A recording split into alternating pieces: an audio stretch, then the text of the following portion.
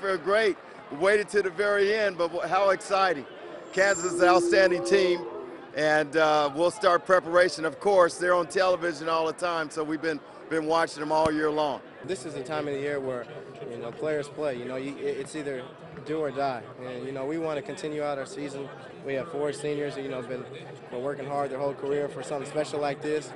And now, you know, they get the opportunity to showcase their talent in front of, you know, the, the nation and uh, on national TV against, you know, one of the best teams in the country. You don't want to go into a game like this or game or go into a tournament nervous or scared.